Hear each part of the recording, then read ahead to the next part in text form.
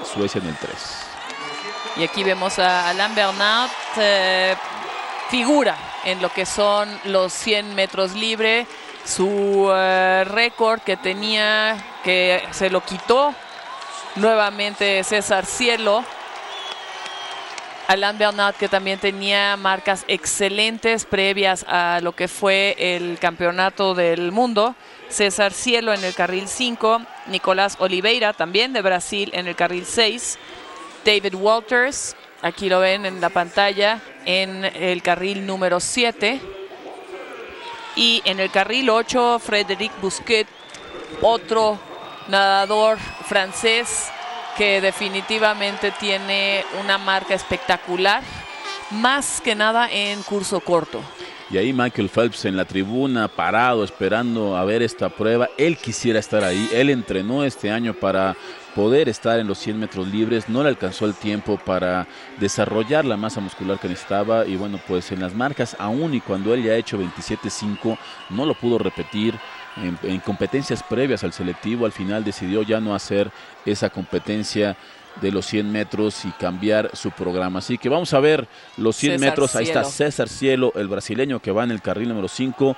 Pues los grandes rivales, los franceses, aunque Frédéric Busquet esté en el 8, no lo descarte porque es el que el primero que bajó de los 21 segundos en los 50 libres y Alain Bernard pues también ya tiene alguna vez haber bajado de 47, aunque no le valieron el récord. Ahí está la salida. Vamos a ver quién se está adelantando. Eh, me parece que Frederic Busquet. Busquet está Vean saliendo muy, muy rápido por el carril número 8. Vean a César Cielo también en el 5.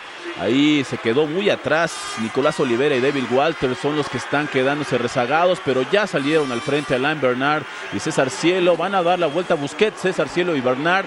Vean la diferencia, solo 3 centésimas y 8, pero menos 30 centésimas en Y cuestión vean, del paso del récord sea, del no mundo. se deja, César Cielo todavía va pegadísimo allá en el carril número Número 3 3. es Stefan Nistren. Ahí tenemos los últimos 15 metros. César Cielo está cerrando. Me parece que va a ser el brasileño Cielo se quien está, está adelantando. en los últimos 5 metros. Vamos a ver a César Cielo. Tiene el récord del mundo. récord del mundo. 46.91. Ahora sí, oficialmente, el primer nadador en romper la barrera de los 47 segundos.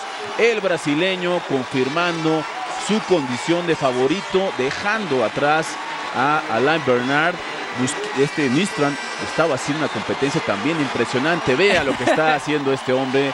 Realmente levantando al público, era el favorito sentimental, pues parece que no nada más de nosotros, también de todo el foro itálico. Ahí está Alain Bernard, gran competencia de estos dos, pasando en los primeros lugares. Busquet no pudo soportar ahí el cierre. Y bueno, pues gran, gran competencia, haciendo buenos nuestros pronósticos. César Cielo, ahí emocionado. Ahora sí es, oficial. El primero en bajar los 47 segundos. Lo hemos visto constantemente, ha estado constante en todas las competencias, marcando aquí la pauta. Él ha estado también en las, eh, eh, todavía en el en Juegos Olímpicos tuvo el tercer lugar. Es decir, fue en tercer lugar. Primero Tercer. en los 50. Sí, exacto.